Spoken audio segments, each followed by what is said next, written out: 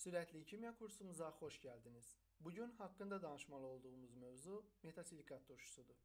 Qeyd edək ki, bu mövzunun içərisində təkcə metasilikat turşusunu yox, həm də metasilikat turşusunun duzlarını, həmçinin silikat sənayesini nəzərdən keçiririk. Yəni digər mövzular qısa olduğu üçün elə bu mövzunun içərisində toplamağı daha uyğun hesab etdik. Və burada qeyd edirik ki, alt başlıqlar var, özünüz onlarla tanış ola bilərsiniz. Biz davam eləyək. Quruluşu və fiziki xassələrindən başlayaq. Bu gördüyünüz silisium dioksiddir. Niyə biz silisium dioksidi burada veririk? Çünki silisium dioksidi bilmədən metasilikat turşusundan danışmaq olmaz. Çünki silisium dioksid metasilikat turşusunun anhidrididir. Düzdür, özü su ilə reaksiya girib o turşunu əmələ gətirə bilmir, bunu qeyd eləyəcəyik. Lakin yenə də oksidaşma dərəcələrinin eyniliyi səbəbindən bu birləşmə onun anhidridi sayılır.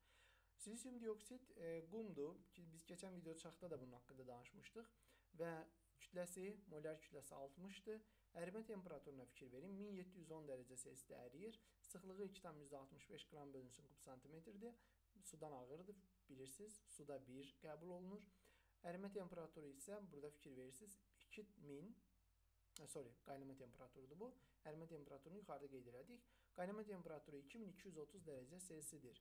Və gördüyünüz kimi bu şəkildə ağ toz şəklində olur, amma normalda rəngi şəffafdır kristal halda.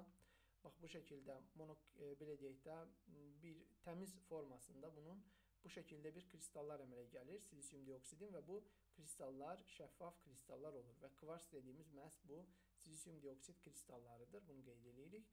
Və bu silisium dioksidin e, şəbəkəsidir, yəni kristal quruluşudur. Burada qeyd olunmalı olan vacib bir məqam var. Mən qələmi götürmək istəyirəm. Qeyd eləyək ki, başdan silisium dioksid bir a, molekulyar quruluşlu maddə deyil, qeyri-molekulyar quruluşlu maddədir.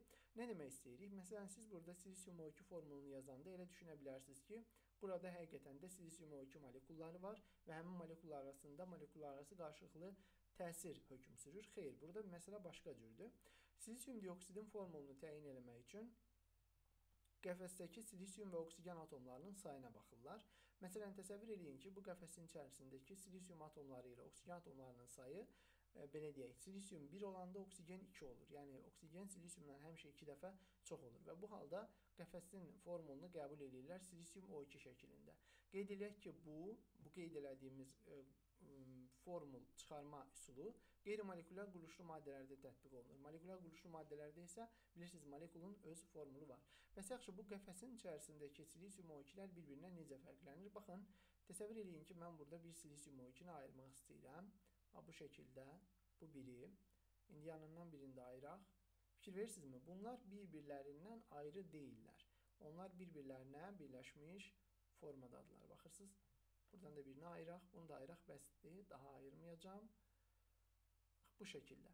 Fikir verirsinizmi? Əgər bunlar silisium O2-dirlərsə, görürsünüz bu silisium O2 özü sağındakı, solundakı, üstündəki, altındakı, yəni ətrafındakı digər silisium O2-lərin hamısı ilə rabitə yarada bilər. Yarada bilər. Amma özünün bilicinizdə, yəni silisiumun 4 valentliyi olduğu üçün o yalnız iki qonşusu ilə rabitə yaratmış halda mövcud olur. Bunu da qeyd edək. Yəni burada əsas məsələ ondan ibarətdir ki, bu yüksək ərimə temperaturunun səbəbi burada molekullar arasındakı, molekul deməyə artıq biraz atomlar arasındakı belə daha düzgün çıxır. Atomlar arasındakı rabitənin kovalent rabitə olmasıdır və bu da təbii ki, burada molekulları bir-birindən ayırmaq mümkün olmadığı üçün ərimə temperaturunun da bu qədər yüksəlməsinə gətirib çıxarır. Davam edirik və kimyəvi xassələrinə gələk. İlk öncə qeyd edək ki, silisium dioksid su ilə reaksiya daxil olmayacaq. Məsələn, siz hər dəfə dənizə, dənizin kənarına getdiyiniz zaman orada qum görürsüz və su görürsüz. Heç vaxt bunun suda həll olduğunu və ya reaksiyaya girdiyini müşahidə edə bilməzsiniz, çünki bu hal müşahidə oluna bilməz. Və burada biz silisium dioksidin natrium hidroksidlə reaksiyasını görürük. Buradan natrium silikat əmələ gəlir və su əmələ gəlir. Silisium dioksid həmçinin əsası oksidlərdən kalsium oksidlə reaksiyaya girir. Kalsium silikat əmələ gətirir. Silisium dioksidin hidrogen fluoridlə reaksiyası var. Silisium fluorid əmələ gəlir və su əmələ gəlir. Burada çox maraqlıdır. Bax bu reaksiyaya aid bir şəklimiz var burada. Lamçka var idi. Bu lamçkanı hidrogen fluorid məhluluna saldılar və gördüyünüz kimi lamçkanın aşağı hissəsi turşunun təsirindən tamamilə əridi və yoxa çıxdı. Bəli, bax bu silisium O2-nin hidrogen fluoriddə həll olmasına aid bir şəkildir bu. E, sonra silisium dioksid kalsium karbonatla reaksiyaya girir. Kalsium silikat və karbon qazı əmələ gətirir. Bunu da qeyd edək. Həmçinin kalsium ortofosfatla reaksiyasından kalsium silikat və P2O5 əmələ gəlmiş olur. İndi isə gəlin metasilikat turşusunun özündən danışaq. Dediyimiz kimi silisium dioksid onun anhidridi idi. Yəni silisium dioksid suda həll olanda metasilikat turşusu alınmalı idi, amma alınmır. Yəni bunu başdan qeyd edək. Bu gördüyünüz metasilikat turşusudur. Silisium dioksiddə olduğu kimi onda da bir anormal quruluş müşahidə edirik. Həqiqətən də yəni anormal bir quruluşdur. Çünki o bir polimer turşudur. Baxırsınız bu şəkildə H2 silisium O3 M molekulundan ibarətdir. Yəni bu gördüyünüz H2 silisium O3-lər bir-birləri ilə birləşiblər. Onlar ayrı-ayrı deyillər məhlulda. Bunu qeyd edək. Bu gördüyünüz e, silikat turşusunun, metasilikat turşusunun formuludur. Başqa bir formulu. Burada isə metasilikat turşusunun alınmasını görə bilirsiniz. Əgər silisium O2 su ilə birbaşa reaksiyaya girmirsə, təbii ki biz onu dolayı yoldan almalıyıq. Bu zamanda nə edirik? Bu zamanda həll olan duzlarına, məsələn natrium silikat, qeyd edək ki, bu natrium silikata həll olan şüşə deyirik. Həmçinin kalium silikat da həll olan şüşə adlandırılır.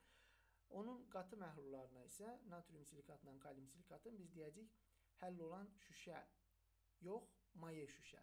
Yəni duru məhlulları həll olan şüşədir, qatı məhlulları isə maye şüşədir.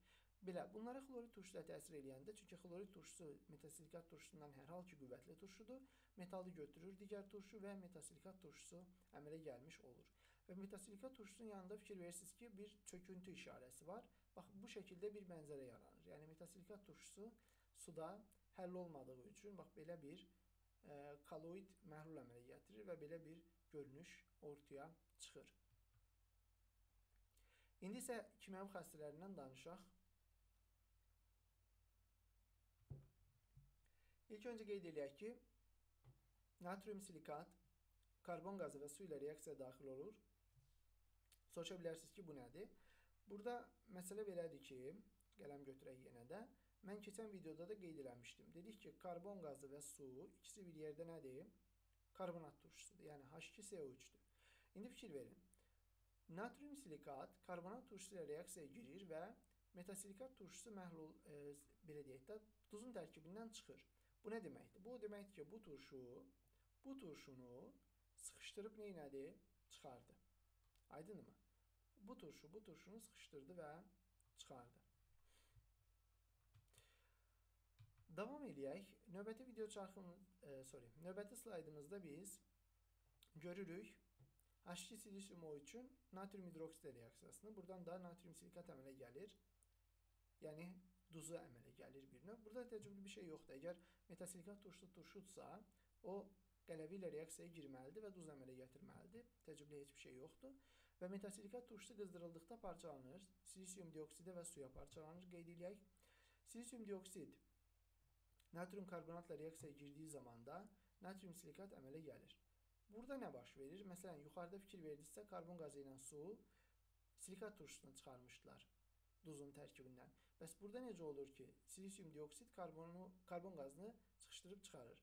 Burada məsələ başqadır. Burada uçucu olmayan, yəni silisium O2 uçucu olanı, yəni karbon qazını duzundan sıxışdırıb çıxara bilir. Bunu biz duzlar bəhsində qeyd eləmişdik. Dedik ki, uçucu nisbətən uçuculuğu dedik az olan və ya uçucu olmayan turşu anhidridlərimiz uçucu turşu anhidridlərini duzundan çox rahat sıxışdırıb çıxara bilirlər. Bu iki reaksiyanın çox ciddi fərqləri var. Baxın, burada ən azından temperatur yoxdur. Bu reaksiya isə istilikdə gedir. Yəni temperatur iştirakında baş verir.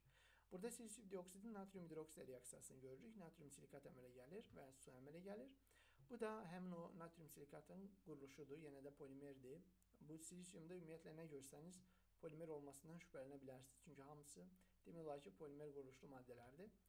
Burada gördüyünüz də həmin onun bəsit halda, yəni təmiz halda bir şəklidir. Bu budur. Yəni belə başa düşək. İndi isə gəlin şüşədən danışaq.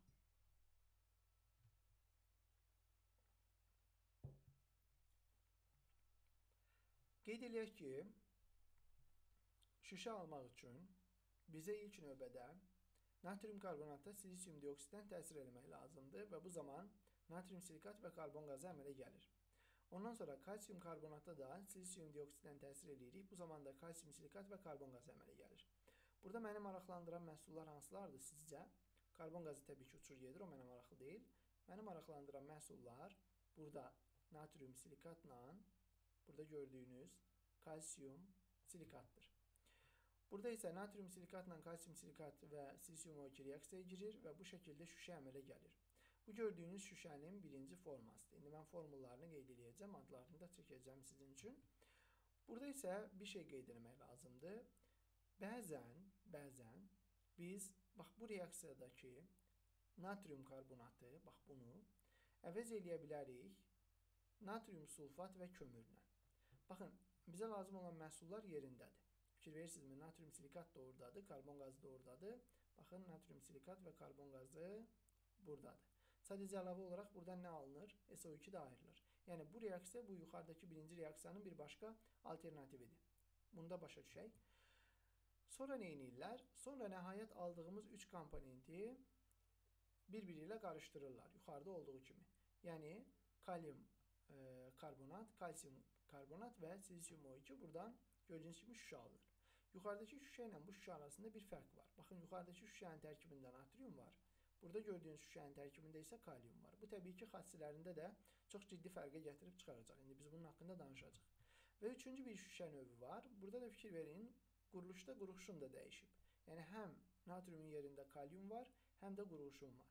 Bu şüşəni də almaq üçün kalium karbonata quruluşun oksid, bir də silisium O2 ilə təsir edirlər. Bu da başqa bir şüşə. Yaxşı, bəs bu şüşələrin bu təsvirdir. İndi bunu görəcəyik biz. Bu şüşələrin tərkibində hansı fərqlər var? Baxın, indi həmin formulları qoyaq bura və adlarını çəkək.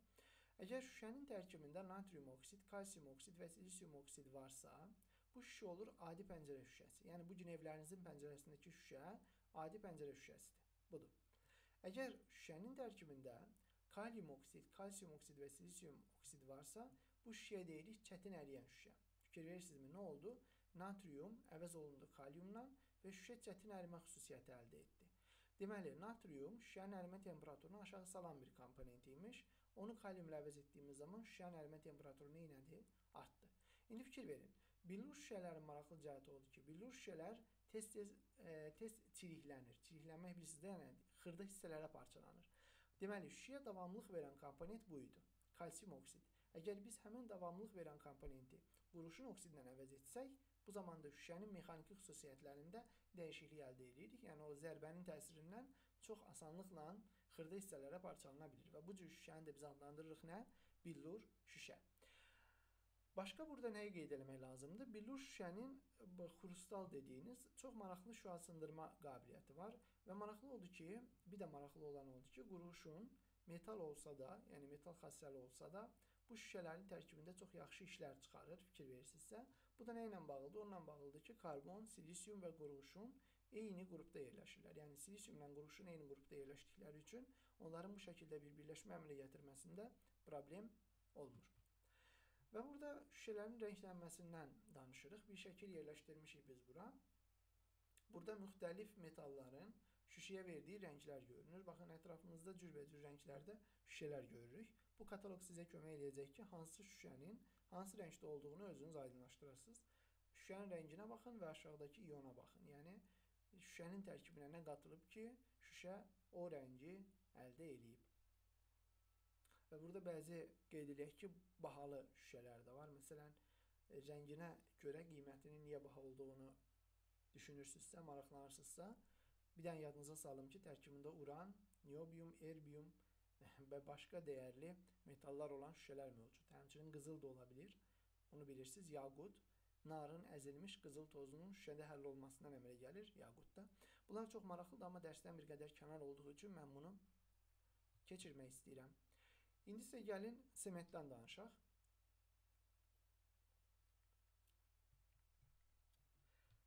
Ümumiyyətlə sement necə alınır? Sement almaq üçün bizə kömür lazımdır. Kömür əslində olmasa da olar. Kömür yanacaq kimi təmin olunur əsasən. Əhəng daşı lazımdır, gips lazımdır, gil lazımdır. Bir də dəmir daşı lazımdır.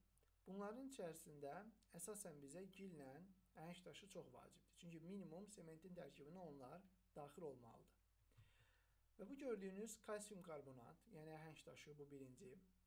Desəm mən mausu götürsəm daha yaxşı olar. Bax bu birinci əhəng daşı parçalanır, kalsium oksid və karbon qazını əmələ gətirir. Və bu şəkil bizə onu deyir ki, sement istehsalı necə aparılır. Bu parçalanma prosesi burada aparılır, fikir verirsinizsə. Həmin parçalanma prosesi nəticəsində karbon qazı ayrılır, gördüyünüz kimi atmosferə qarışır. Karbon qazı həmçinin xam malın daşınması zamanında ayrılır. Ümumiyyətlə bir şey qeyd edeyim ki, sement istehsalı ümumiyyətlə karbon qazı tullantı baxımından çox zəngin bir istehsaldır. Yəni təbiəti çirklənmə baxımından çox e, belə deyək də ön sıralarda yer alan bir istehsaldır. Burada isə gili görürsüz. Gilin tərkibi, bu kley dediyimiz gildir əslində. Gil alüminiumsilikatlardır bilirsiniz. Alüminiumsilikatlar da qızdırıldığı zaman alüminium oksid və silisium oksidlə parçalanır. Sonra alınan bu kalsium oksid buradakı silisium oksidlə reaksiyaya girir və kalsium silikat əmələ gətirir. Alüminium oksidlə kalsium oksidlə reaksiyaya girir və buradan kalsium alüminat əmələ gəlir. Ondan sonra mən biraz geri qayıdacağam bunun üçün. Bəli. İndi soruşsanız ki, bəs bu sementin, yəni sement müşəyinin içindəki birləşmənin formulu nədir? Bax, sement müşəyinin içində bunlar ikisi bir yerdə. Təbii ki, içərisində başqa qarışıqlar olur. Mən onu istisna eləmirəm. Amma əsasən sementi əmələ gətirmək üçün sement müşəyinin içərisində kalsium silikat və alüminium silikat olmalıdır. Yəni sement, kalsium və alüm, e, sorry, alüminium silikat yox, alüminat deyək. Kalsium silikat və alümin, kalsium alüminat olmalıdır. Kalsium silikat və kalsium alüminat. Bunlar əsasən sementin komponentləridir. Bunu da qeyd edək. Sement istehsalı haqqında bizim video çarxımız var. Həmin video çarxı izləməyinizi məsləhət görürəm. Yəni yenə də kanaldadır. Orada öyrədici video çarxlar bölməsindədir. Həmin video çarxı izləyin və sement istehsalının bütün mərhələlərini orada özünüz görəcəksiniz. Özü də Azərbaycan dilindədir. Onun haqqında danışmağı sadəcə vaxt itkisi hesab edirəm. Və bizim burada video çarxımız başa çatır. Gördüyünüz kimi quizimiz yenə də yaddan çıxmasın. Nəticəniz əgər 80%-dən aşağı olarsa, qayıdın, quizi bir daha işləyin. Və mənim işim burada bitdi. Diqqətiniz üçün təşəkkür edirəm. Növbəti video çaxlarda görüşənə qədər hələlik.